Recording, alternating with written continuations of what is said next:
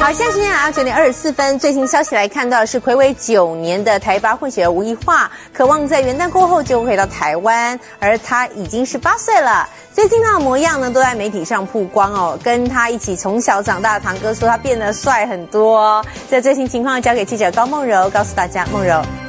谢主播台巴混血儿吴亦化呢，今年已经十八岁了，已经九年多没有回到台湾来，跟他从小一起长大的表哥呃堂哥说呢，最近在媒体上看到他，觉得他变帅了，也说家人呢其实对这件事情都非常低调。我们今天看这个堂哥的说法。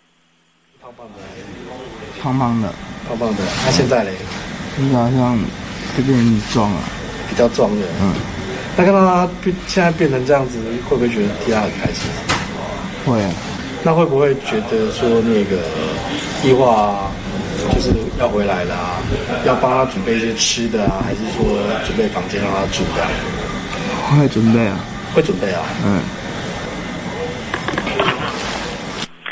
现在我看到堂哥其实也是非常的低调，因为一家人呢，当初这个十年前这个事件呢，造成一家人都是非常的难过。因此呢，现在看到吴亦华长大的模样，大家都很开心，觉得他变帅也变壮了，也说呢会准备一间房间等待吴亦华回来。不过呢，目前邻居是传闻呢，与吴亦华大概回来时间是在元旦之后，大概一月十号左右。不过这个说法呢，还没有得到家人的证实。而他的叔叔吴火野呢，到现在也还没有露面。那以上是在告诉我们这些情况，就交给彭内主播。好，谢谢梦柔帮我们掌握了最新消息。我们可以看到吴亦化呢，预计最快在元旦之后就会回到台湾。